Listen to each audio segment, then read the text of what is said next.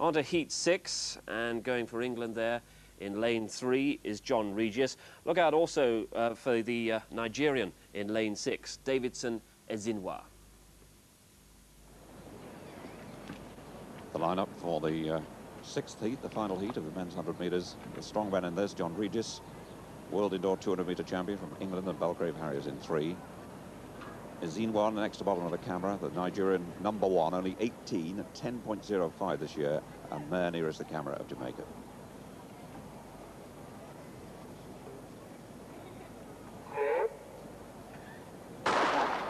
Regis wasn't too well away, and Zinwad did get away well and there, going well on the near side, and uh, Regis is having to struggle to get there. It's Zinwa by a long way. Mair in second place, Regis comes through third, and next to him, Nketia of Ghana. And the time was very quick indeed, 10.18, but a wind speed of over three meters, so uh, not allowable, very strong indeed. That is the fastest heat, but no wonder. But this Nigerian threat is growing every time we see them. We've seen three outstanding young athletes. The Ezinwa twins and Tatenti, the third Nigerian. This is a good run, only 18.